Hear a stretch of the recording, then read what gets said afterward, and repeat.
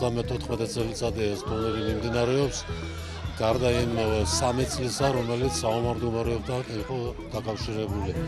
როგორც მოგეხსენებათ, ეს არის თამაზ კოჩუხიძის სახელობის ცოტა უხერხულია, მაგრამ ჩემი ძმის სახელობის ტურნირია, რომელიც იყო თავის დროზე ცნობილი ფეხბურთელი და იყო ბოლო წლებში ცნელი და ძირითად ყურადღებას უთმობდა ბავშვების აღზრდას.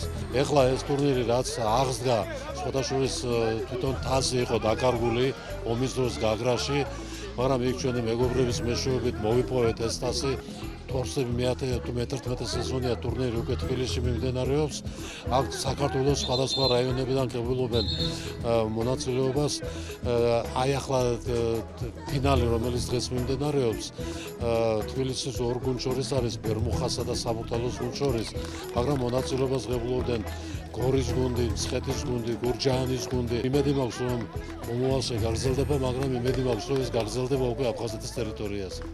შესანიშნავი ტურნირი ძალიან უხალისეთ და კარგი თამაში გამოგვივიდა. ბევრი ვიბრძოლეთ. იმედია კიდე ვიდავართ. ძალიან ძნელი თამაში იყო. დიდ მადლობას ვუხდი მეკარეს. რა კაი ურთები აიღო.